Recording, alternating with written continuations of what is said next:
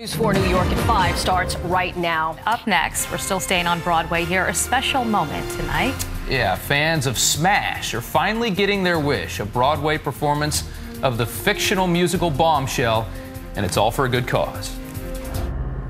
Fans of the TV show Smash have been asking, begging, in fact, for years to see a Broadway production of Bombshell, the fictional musical about Marilyn Monroe. And tonight, some of those fans will get their wish. Bombshell is being performed in concert to a sold out crowd. That's right, but whether you get in or not, the real payoff is for the Actors Fund, as News 4's Carrie Barrett found out.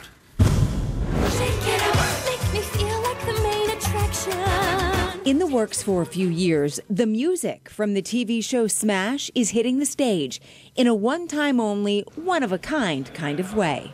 This is such a fun, fun event that we're doing, having everyone come back and recreate. A lot of them are exactly the same, all the big numbers we did on the TV show Smash. And it's all for a good cause. All the leads are there, uh, and uh, we're very excited. The money raised goes to benefit the Actors Fund, a charity organization that helps people in the entertainment industry. Skipp Lynch was a comedic actor who hasn't lost his sense of humor. Most people don't look at me and think of comedy, but actually, I, I can be a little funny. He toured with Hollywood legends. With Lana Turner in a play uh, Bell Book and Candle. He lived alone in his apartment for 40 years. And I always envisioned me being carried out the front door uh, feet first. But glaucoma took his sight, and he wasn't safe living by himself. The Actors Fund gave him his life back and a place to live, the Lillian Booth Actors Home, a nursing home and assisted living center in Englewood, New Jersey.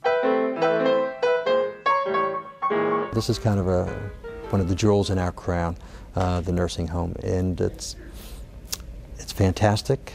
Getting the money to put the show on and still have enough left over to benefit the Actors Fund was easier than they expected.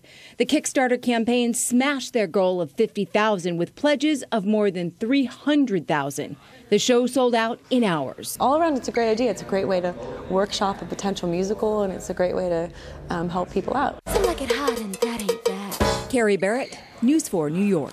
Ah, oh, it looks so good. Very cool. Be a tough ticket to get, too. Yeah.